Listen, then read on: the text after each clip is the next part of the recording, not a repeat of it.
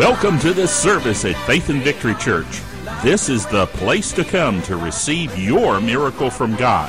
Now, let's join our service already in progress.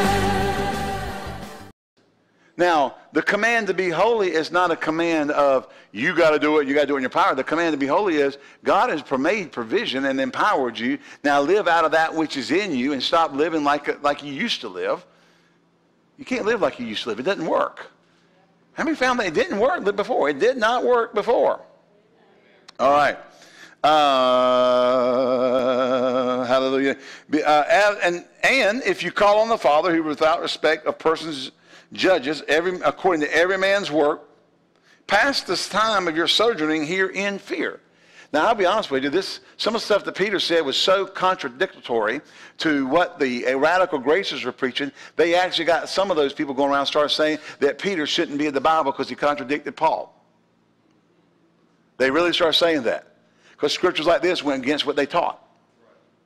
And so they started teaching that Peter shouldn't be part of the canon because Paul preached, Paul was a true preacher of grace, and this contradicts grace, therefore we shouldn't be in the Bible. Oh yeah. I'm telling you, it gets crazy. See, when you start when you start down the road of going to the Bible to support your mantra instead of the Bible create your mantra, you get into trouble. Amen. No, we always have to stay open that when we come across scripture that contradicts what we believe, we have to change. Because forever, O Lord, thy word is settled in heaven. It doesn't change. It doesn't change. You have to change to line up with it. I don't care if they did write the Queen James Bible. And they did. Yep. The Queen James Bible. All the scriptures that deal with homosexuality, they rewrote them so they don't make homosexuality a sin. And call it the Queen James Bible. Anyway, we'll leave that alone for today. For, they said that, look, because God judges them, every man doesn't respect the person when he judges them, he says, take the time of your sojourning here in fear. In other words, be in awe, be respectful, be watchful of how you live, how you conduct yourself. For as much as you know, you were not redeemed with corruptible things as silver and gold from your vain lifestyle received by the traditions of your fathers, but with the precious blood of Christ as a lamb without blemish and without spot. We, we kind of just kind of got off some different directions last week. We had some different people here. And I tell you, you get different people, they'll draw you in a different direction. sometimes they'll draw you in directions you weren't going to go, or that, you know, because of the need that they have, or however they're drawing, they'll just pull you in a different direction. And so we, you know, uh, we, we missed some things that I wanted to cover last week. So let's get in here. Number one, precious, out of Webster's dictionary, means highly valuable and costly, highly esteemed, cherished, or beloved. The blood of Christ is precious. Now you had um, one of our mainline denominations went out a few years ago and said, we're going to remove all the references uh, and all the songs that talk about the blood from our hymnals because it makes us a heathenistic religion.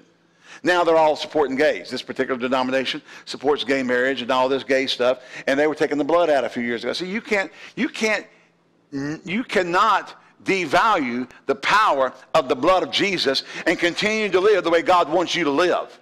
Why? Because Revelation says they overcame by the blood of the Lamb and the word of their testimony. We got a lot of charismatics running around, I mean, word of faith charismatic. People running around had a great confession, but don't have any relate, uh, respect or, or, or uh, understanding of the power of the blood of Jesus. Amen. There's power in the blood. You can't remove that from anything. Why? The very covenant that we're sealed under, that we make our confession from, is sealed by the blood of Jesus. We're to hold it in high esteem, honor and respect the power of the blood. Now, you're going, you're going to act like a little bit of a Pentecostal this morning. That's a Pentecostal message.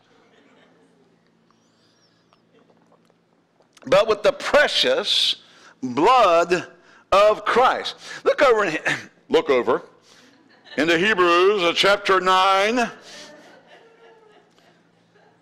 You think, you know, by the time you're my age, your voice would have finally changed. Apparently, I haven't reached, uh, you know, I'm still in adolescence. I haven't quite reached over yet. yeah, yeah, I'm, I'm, I'm heading in for 120. I'm, you know, I'm not even halfway there yet, am I? Hebrews chapter 9. Verse 19, when Moses, dear Lord, doesn't look as good on camera, but who cares? When Moses had spoken every precept to all the people according to the law, he took the blood of calves and goats and water with scarlet wool and hyssop and sprinkled both the book and all the people, saying, This, talking about the old covenant blood, is the blood of the testament which God has enjoined unto you. You've been joined unto something. You've been, you've been joined unto an oath of God. God gave a word. And in that word, he gave an oath. And in that oath, he took it and ratified it with blood. It a blood covenant. The, the oath was just not, I promise you, there was bloodshed to secure and ratify that covenant so that it was not something just passed away. It was not just something that you just kind of looked at and went and kind of flippantly looked at and saw, he gave me his word. He was blood was shed to guarantee that this would come to pass. And he enjoined it unto them Praise be to God forever. Hallelujah. Moreover, he sprinkled both the, with blood both the tabernacle and all the vessels of the ministry. Almost all things are by the law purged with blood. And without the shedding of blood is no remission. It was therefore necessary that the patterns of the things in heaven should be purified with these. Now, in other words, the, and we talked about this last week a little bit, the tabernacle, remember, if you, if you go back and study the Old Testament, and when Moses, particularly when God was giving instruction to Moses about the tabernacle, and then scriptures that revolve around the tabernacle, one of the things the Bible says about it is that Moses created the tabernacle according to the pattern which he saw in heaven. He saw into heaven and saw all the chambers that he created on the earth. He saw the, the, the, the heavenly worship areas laid out like he saw on the earth. Now, if you were to go up over top of, of, of, if you were to kind of go in there and take all the writings about the tabernacle, lay the tabernacle out, and then cut the top of the tent off and go up and look down over it, if you, the, the, the furniture and the, and the furnishings in the tabernacle create a cross. Okay? And you, know, if, you know, looking at it straight on, you don't see it, but when you're up over top, there it is. It creates a cross okay? Before, before Romans ever started executing people by, by crucifixion. And so uh, we, we see this. And so that Moses, when he created it, created a, a tabernacle according to what he saw in heaven. He saw into heaven and saw these things. Now, this, that we can learn a lot from this because how the worship was done, how the sacrifices were made, tell us, you know, what, things about the fall of man and the, redemptive, the redemption of man and the ne- things necessary. Now, one of the things is that into the Holy of Holies, the holy place, where God's throne, where God came down and sat on his throne in the, in the tabernacle and then eventually the temple. When God came down and sat, he sat at the far end of all the furnishings on the throne. And between him and the curtain of the Holy of Holies, was the mercy seat. Okay? Was the mercy seat was there in front of his throne. Now, the Bible says that it was necessary that the pattern of things be cleansed with these. That's talking about the blood of bulls, goats, ashes of a heifer, and so forth. Okay? So when they, they went in, they, they, they, they, did things out in the courtyard, they did things in the, in the holiest, holy place, and then they did things in the holiest of all. The one thing they did in the holiest of all was they took the blood and went to the mercy seat. They did not go to the throne. They went to the mercy seat. And the mercy seat was cleansed for another year with the, those bloods of earthly things. Now, what we learn from this is Adam's authority went to the, as far as the mercy seat went in the real heaven. That's Adam's authority did not include the throne of God. It went up to, but did not include the throne of God. That's how far Adam's authority went. That's why Satan was able to come in the book of Job up to the presence of God and accuse the brethren because that's how far Adam's authority went. That, well, we know that everything had to be cleansed wherever sin went. Sin did not touch the throne of God. It went to the mercy. That's how it got up to the mercy seat. Did not get the throne of God. In heaven itself, it got up to, but it did not include the throne of God. God was not tainted by the sin of Adam. God had given him the authority over all the works of his hands. Hallelujah. Adam sold out. Then and then God brought and instituted the sacrificial offerings to cover man until he could bring Jesus into the earth so that the spotless lamb could redeem mankind. So during the earthly practice, see, things had to be done. So man, and I want to tell you, the, the, the Pharisees, the Sadducees, the priests, the high priest, the, the priest should have known Jesus without even thinking about it because everything he did was in relation to what they'd all been doing for all these uh, uh, decades, centuries, and millennia. Trying to, you know, come to God. It was all right there for them. God gave them, a, God gave them stained glass windows. Now, if you've ever been to Europe and traveled any, you know, and every time we, uh, uh, we've been in Europe, and of course, and I've been in Europe by myself and the family's gone with me, we go to, any town we're in, we try to go to one of the big cathedrals. Just, just because of the architecture, they're beautiful. The way they, you know, to think that, you know, in five, six, seven, eight hundred years ago, they were building these 80 foot, 90 foot tall ceilings with these arched stones that were hewn out, but all, all the stained glass windows. See, because the Catholic Church didn't let the common people have the Bible, they told the stories with stained glass windows. You were supposed, you were supposed to be able to look at the stained glass windows and figure out the message. Because, you know, you're going to come in there, you speak, you speak Italian, they're going to do the, the, the Mass in Latin. You know, you're sitting there going, oh, look at the pictures. Oh. Okay. Well, God did. God gave them the stained glass window in the tabernacle, and all the offerings and all these things. These were all the things He was showing them what was necessary to redeem mankind and to cleanse heaven itself. And so everything that the high that the high priest was doing in the earthly tabernacle, Jesus went in and did in the heavenly. Okay? Man, when, when they would go into that holiest of all and put the blood on the mercy seat, the, now this was about, it was atonement. It was a covering. It wasn't a purchasing. Under the old covenant, they were atoned for. They were not redeemed. Okay? That, that, I know it's used one time in the King James New Testament. It's, it's, it's, just, it's just a mistranslation. They just, they just used the wrong word. And they did it from a, from a theological standpoint of that, well, that's the word that's been, been being used, and so we're going to use it, but it's really the wrong word. Just like the word Easter is in the New Testament, and it ain't in the Greek. The word translated Easter was Paschal in the, in the Greek. Passover. They just did it because that's what it, the, the, Druids and all of them were, were all with all the heathens, and they just put it in there and changed it. Just it's, Ishtar, Easter was, a, he, it was the in English rendering of Ishtar, the Greek goddess of fertility. It's not in the Bible in Greek. So you're more correct to say Passover. Paschal. That's where the word came from. Okay? So God says here in Hebrews, Paul, I believe, writing here says, it was therefore necessary that the pattern, remember this is the pattern, of things in the heavens should be cleansed or purified with these.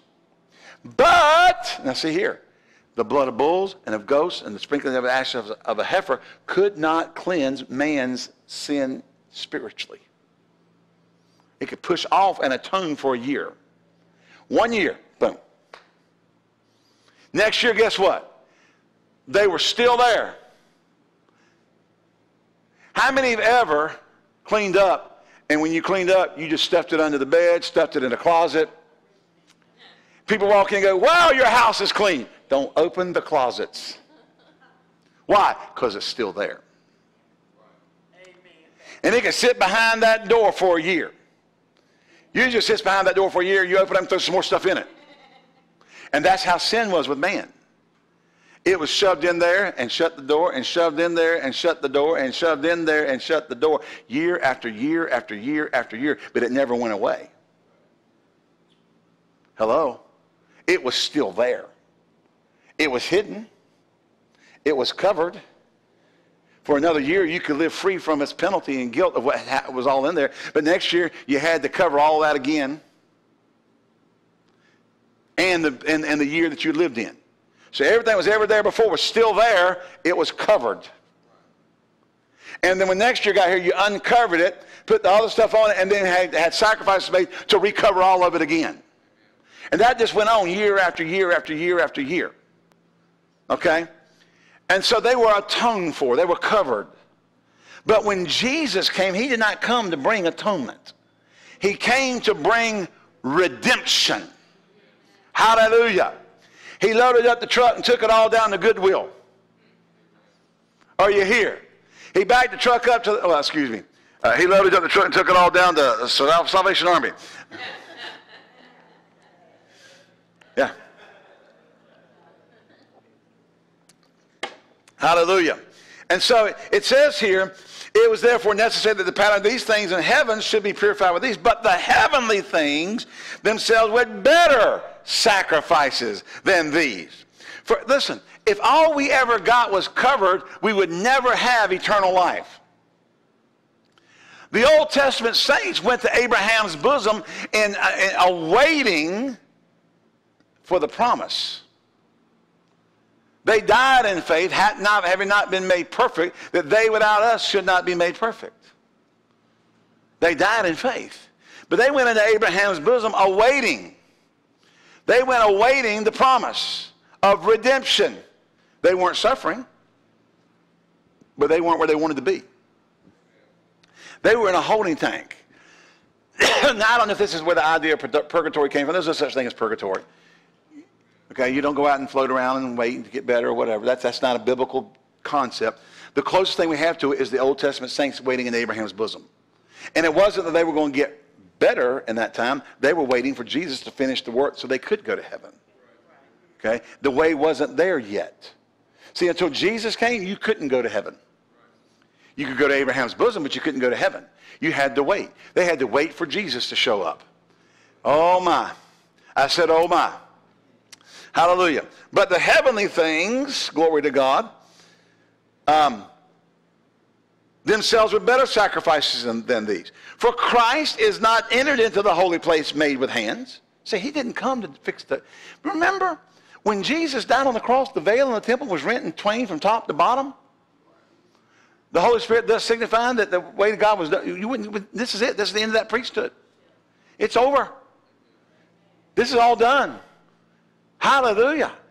I mean, glory be to God. I mean, just rip that thing in half and say, this is over. God, this, this, God's not going to dwell in here anymore. He's not dwelling in a temple made with hands of men. He's not going to hide behind a curtain anymore. The whole reason of redemption is to reconcile humanity to the Father so he can dwell in his creation once again. Not be separated from him, but be enjoined to him. Glory to God. Not an image of the holy place made with hands, which are figures of the true, but into heaven itself, now to appear in the presence of God for us, nor yet that he should offer himself often. As the high priest entereth into the holy place every year with the blood of others, for then must he often suffer since the foundation of the world. But now once in the end of the world, he appeared to put away sin by the sacrifice of himself. Glory be to God forever. Amen? Hallelujah. Glory to God. And we better back up here. Back up to around verse um, 6. Now, when these things were thus ordained, the priests were always the first uh, into the first tabernacle, accomplishing the service of God. But in the second went the high priest. Now, who was Jesus? He's the high priest of our confession. Amen. Hallelujah. Into the holiest of all not, uh, was not made, yet made manifest while as the first tabernacle was standing. Yet was a figure of the time then present in which were offered both gifts and sacrifices that could not make him that did the service perfect as pertaining to the conscience. Oh, glory be to God. I said, glory be to God. I said, glory be to God. Think about that. You put all the stuff in the closet and you shut the door, but guess what? You know what's back there. Now, the neighbors may come in and look around your house and not know what's back there. They might suspect it, but they don't know it. But you know it.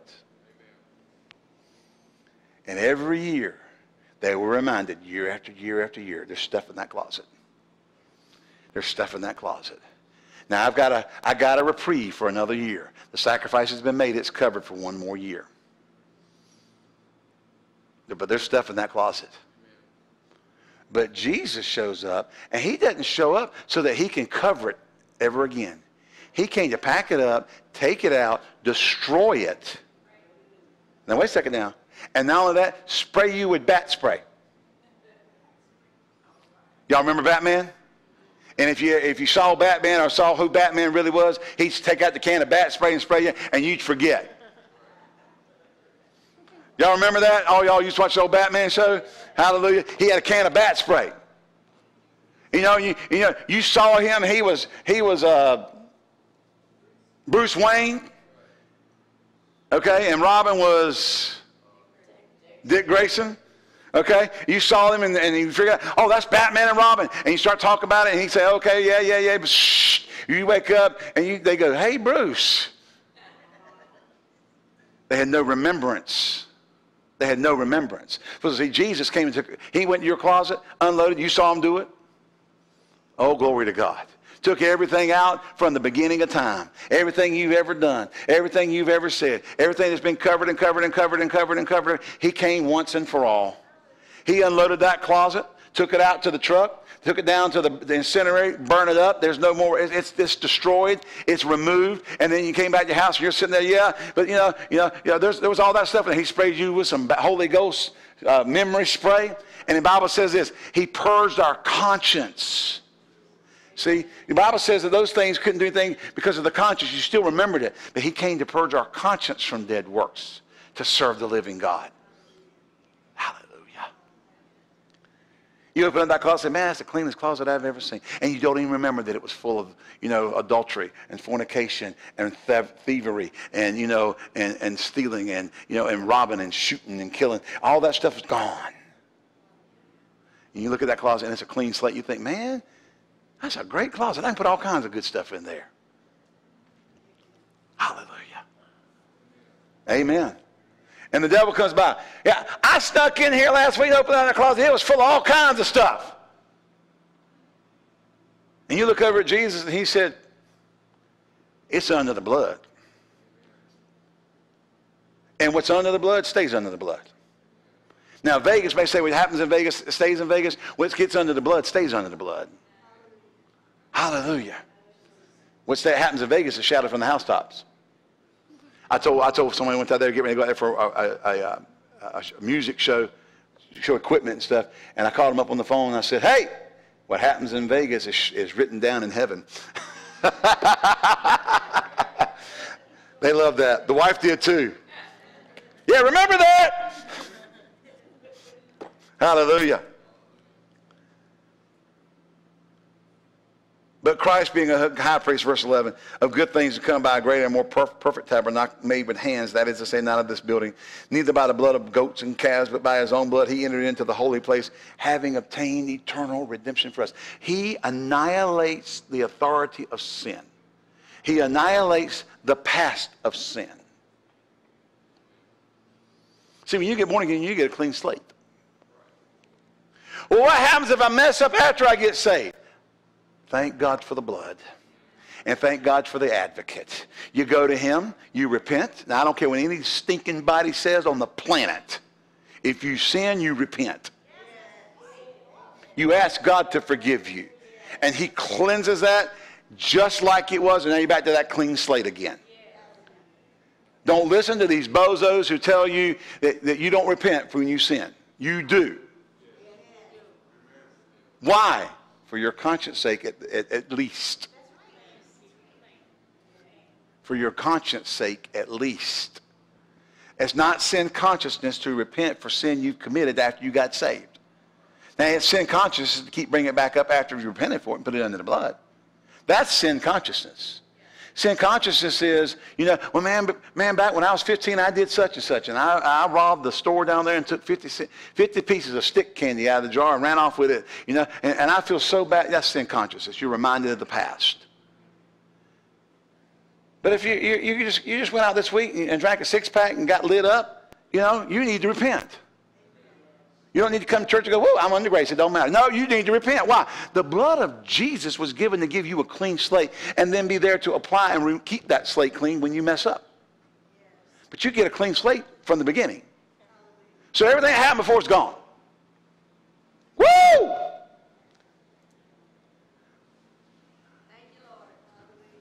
What's the name on the front of this building? Oh, I thought it said First Frozen Chosen Church. We are not the church of the first chosen chosen. You ought to be excited about the fact you got a clean slate. And you should also be excited about the fact that, man, once you came in, I think, I think the, message of 1 John 1 9, that's the true message, not the goofed up thing. They've even got ones where they found a couple of Bibles that somebody says not in the original Greek, and they took 1 John 1 9 out because it messed up their crazy grace teaching. And they start quoting these Bibles. Well, this Bible, all Bible scholars agree that this is the Bible. No, they don't. The all is the people in your little circle. You know, the, the revisionist uh, scholars started finding a couple of Bibles that, that, somebody came up with out of, out of Europe somewhere, and they said, it's not even in there. So it's not in the Bible. We don't repent when we sin. If you've got to go get new written Bibles, the, the Jehovah's Witness did that with their Bible. Called Jesus and put the, the, the uh, preposition, I guess, a Son of God. Added that to there because their scholars said it was in the Greek. And that's that they use that to prove that Jesus wasn't divine. Hello. Are you here? Are you going home? See, when you start messing with rewriting the Bible and trying to find translations that leave stuff out that supports your theory, you better leave your theory alone. The blood of Jesus, now think about this. The blood of Jesus is not an entity unto itself. It is uniquely and forever attached in its origin with the Son of God or with the Lamb of God who came to redeem us from our sin. Therefore, great price was paid. You were not redeemed with silver and gold or corruptible things, but with the precious blood of Christ.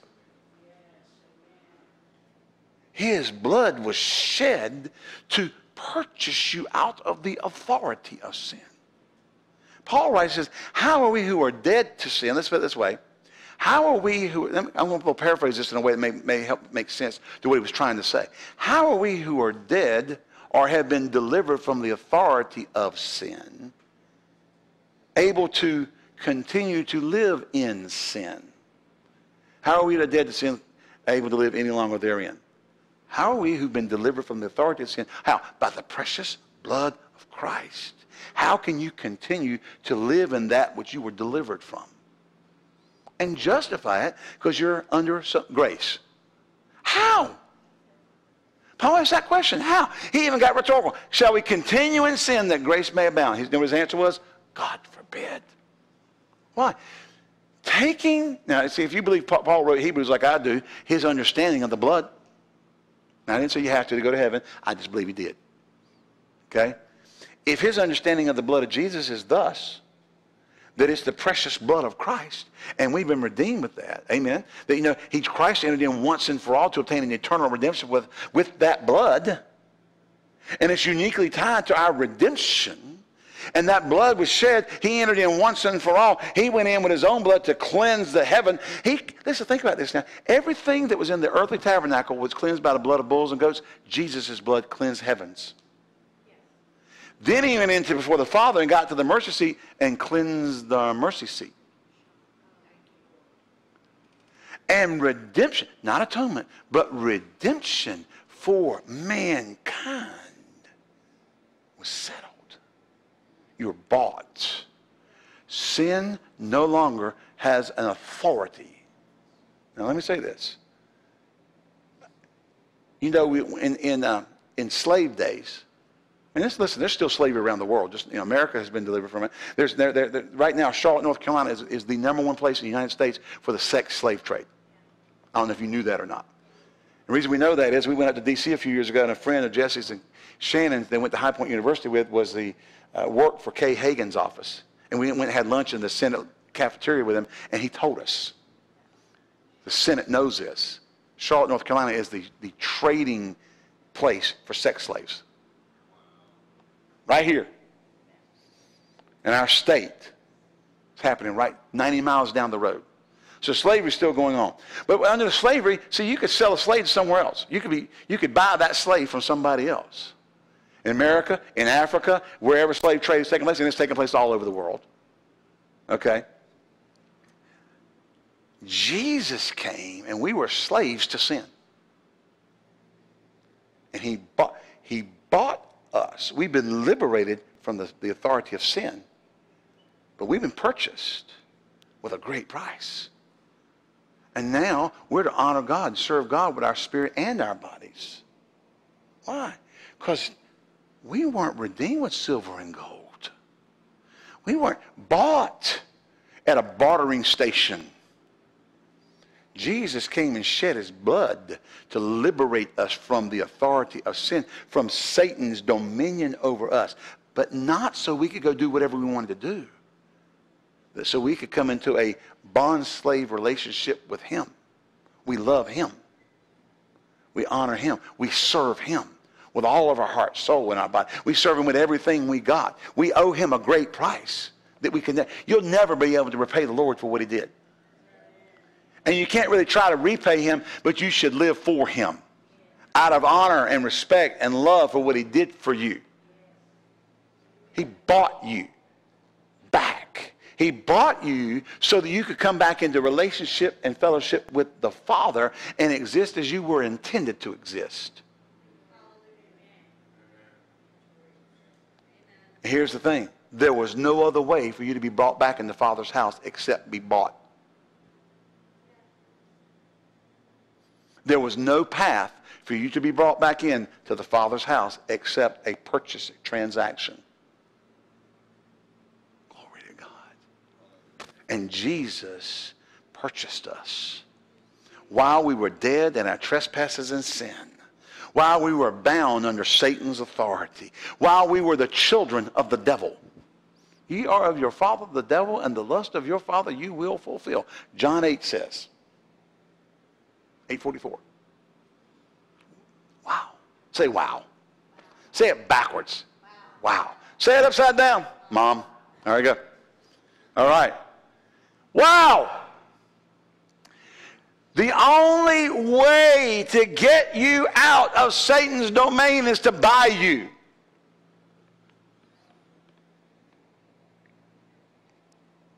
But silver and gold wouldn't do it. The blood of bulls and goats and calves wouldn't do it. Are you here? All the gold on the earth wouldn't do it. Heaven itself couldn't do it. You couldn't hawk off all of heaven and buy a mankind back. God showed us the way from the very beginning, the shedding of blood. No man's blood was good enough because it was all tainted. Y'all hear?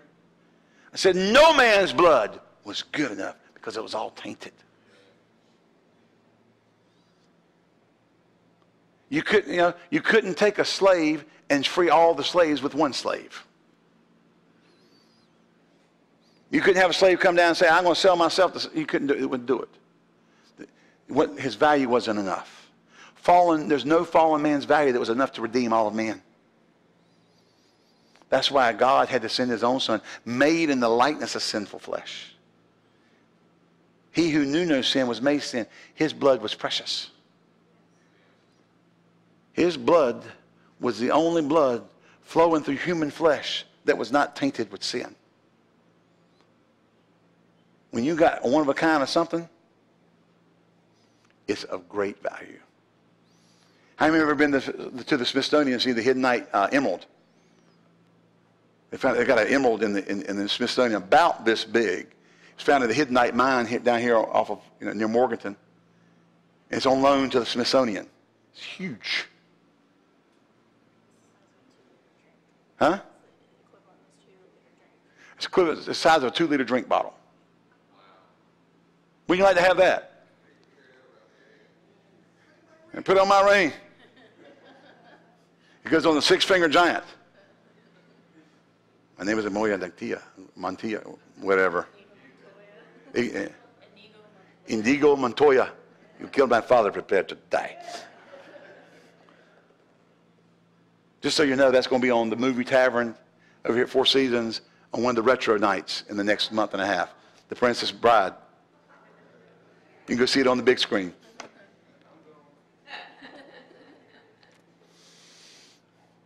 When you got one of a kind something, to get, you know, get black diamonds are rare, like super rare, but they're, they're worth phenomenal amounts of money. We got all these rubies and diamonds and you know all these different jewels. They're, they're worth when you get the rare ones, they're worth more. Jesus' blood was the only blood on the planet. Now it wasn't the only blood ever on the planet. It was the only blood on the planet. Adam had that blood until he sinned. He had, he had spotless blood until he sinned. Once he sinned, all mankind was sold under that sin because the blood was passed on and passed on. But Jesus came,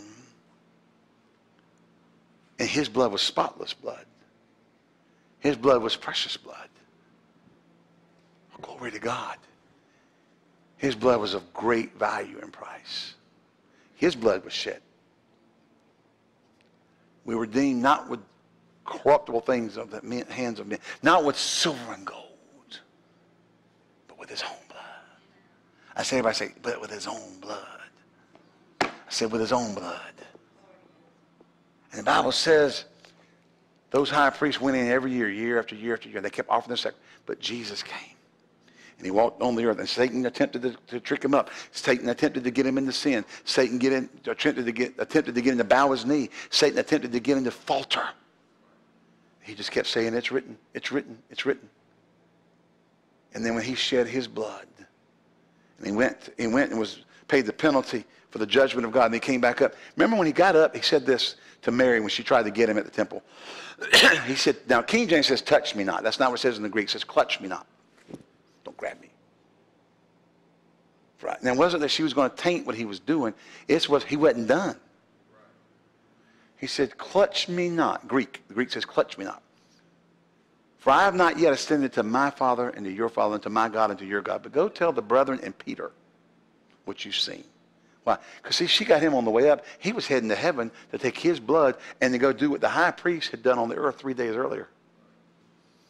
They walked around that tabernacle and that temple and that well, temple and did all that work. But see, remember the veil got rent when he died on the cross. I mean, don't you know the priests were outside the holiest of all was sitting out there when that thing written to? They, they, they probably had a hissy fit because they thought they were getting ready to die. Because only the high priest could see in there. They're standing out there and they're rip, and they're probably thinking, oh, I didn't see anything. I didn't see anything. No. they had to be doing something like that. They knew. They knew. They, they're probably standing with the rope on the guy's leg going,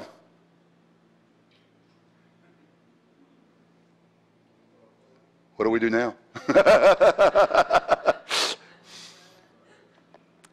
I know they had to be, there had to be a messed up place right there because everything they knew and believed was just messed up. Hello? But what the high priest was doing three days earlier, Jesus came back up and said, Don't clutch me, Mary. I'm not done. That's what he was telling her. I'm not done with what I got to do. I've got to finish my work. And then he ascended up into heaven and took his blood, and he marched right down. The Bible says he led captivity captive. All those Old Testament saints that were in Abraham's bosom. Now, a few got got, got a little smart aleck and, and stopped off, picked up the body, and went and talked to folk. If you read over there in the end of Matthew, 50, uh, 50, verse 54, 57 of one of those latter chapters, it says that many of those saints came up and, and walked the streets, and many were seen of many. Can you imagine sitting down to dinner and kind of talking about great, great, great, great, great, great, great, great, great grandfather David? And the door opens up and there's David. Guys, just came to tell you, you're my posterity. I saw the Lord. He's been raised from the dead. Believe on Jesus. That'll mess up your meal. I mean, if just my great grandfather showed up, I would mess up your meal. You know? But Jesus took, out they all, they're all out there waiting to see him go in. He goes into the heavenly holiest of holies. He walks in, he does, does all the things that the priests were doing outside the outer court in the holiest place, the holy place, and then he goes into the holiest of all. And he walks up before the presence of the Father, and there's the mercy seat, and it's, it's tainted by sin. Now, in the Spirit, I guarantee you, could see it. You could see that. I know in the Spirit you could have seen the tainting of the sin. And Jesus comes in with his own blood. The first and only thing, first time since the fall of Adam, that something could come in there that could cleanse this. And, and then Jesus puts his blood on there. And they all wait because the Father still has to accept it. Hallelujah. And as they watch the blood of Jesus eradicate the stain of sin from the very mercy seat of God, from where Adam's authority went, heaven is now cleansed. And the Father says, accept it. Now, Jesus didn't go sit down. Hello? I'll be back in 40 days. He turns around, takes off, runs down, and starts preaching to the other guys for 40 days. Ten days before that, he takes he comes out and sits down. Day of Pentecost was 50 days. Jesus was, was ascended on the 40th day. There was 10 days there. He, he, he, so he left. You accept the blood? Great. I'm out of here. I'll be back. Came back 40, 40 days later. He shows back up to sit down. He takes his blood, cleanses it. Heaven's cleansed. He goes back down there and walks and talks with them, fellowships with them, teaches them. remember the two disciples were walking on the road and he comes and joins us to them and they're talking about you know, all the things that have happened with Jesus and he starts oh, at Moses and the law and opens up and expounds to them and shows them that Jesus is the Christ and they're all sitting there and then he just disappears and they realize and Jesus was just talking to this dude. They run in, hey, we saw Jesus! He kept doing that. They, be, they sit there sitting there having dinner. Boom, walk through the wall. Hey guys, I just went to heaven and I cleansed it. Satan's authority is broken. My, you, you know for, for millennia, the priests went in with, with bull blood and goat blood. Hallelujah. And they put it on the altar, the mercy seat, of, uh, and got your sins covered. I went up there and just cleansed it all up. I just got, doing, got done having a, a cleansing that's forever settled. And as a matter of fact, believe on me, you won't even, you won't even have the consciousness that you were a sinner. You're now conscious of being righteous. Hallelujah. You don't have to, you don't have to come back here next year and offer a sacrifice for what you did all this year and all the years before. You can come to the throne of grace and go, Father, thank you for your love and your mercy. And I messed up yesterday about 3 o'clock. I did such and such. Forgive me. And Jesus looks over at the Father and says, My blood's on the mercy seat. This is forgiven. And you don't have to come back next week and repent again. It's wiped. It's wiped. It's gone. So you can have, how many know there's a difference between being pardoned and being expunged? So you can get a pardon for what you've done. All it says is the, the, the government or the state offers you continual forgiveness for crimes you committed. But There's still some, a lot of times, you know, you can get pardoned, but, you know, you can still, there's still things maybe because you were a felon, you, you can't get this, you can't do that. There's some things, but if your record gets expunged, it's like you never did it. You're not pardoned. The record is wiped clean. Heaven didn't pardon us. We got expunged. When Satan comes, we can look at him and say, what are you talking about? Yeah, I remember on July the 22nd, 1978, uh, you did this. Oh, yes, you did. You remember. It's in your brain. You, you remember doing it. You remember. Nope. You're lying. Nope. My record was expunged by the blood of Jesus. It's like I never did it. I said, it's like I never did it. And as far as God's concerned, I never did it. Satan can walk in there and say, now you're God, you know everything. You know Ed Taylor was, set, was here on this date and he did such and such. And the father goes, what? What's that? The blood of Jesus, my son, the precious blood of the Lamb. Though his sins were red as scarlet, they're white as wool. I have removed his iniquities as far as the east is from the west. I have no remembrance of that. His record is expunged. There's nothing to accuse you for. Now, this is what, now sin consciousness is remembering that. And letting it govern you. That's sin consciousness. I'm just so unworthy. I mean, I'm telling you, back 20 years ago, I did such and such, and I just don't deserve anything from God. That's sin consciousness. It is not sin consciousness to sin and go repent. As a matter of fact, repenting will cleanse your conscience from the dead work to serve the living God because the blood of Jesus will apply to it and wash it clean for the present sin. Hello? You got people teaching not to repent. You, it, that's, that's a message of the devil. Why?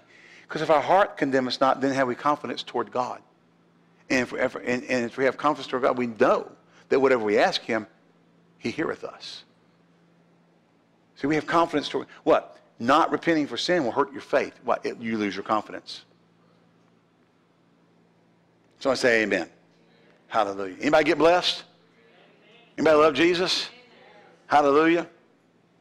We trust that you were blessed by the Word of God and the flow of the Spirit of God in this service. If you would like to contact us, please write us via email at office at fvc.org or using our mailing address, P.O. Box 7752, Greensboro, North Carolina 27417. If you would like to contribute to our ministry, please go to our website at www.fvc.org and click on the Giving Online button. Thank you, and may God richly bless you for your giving.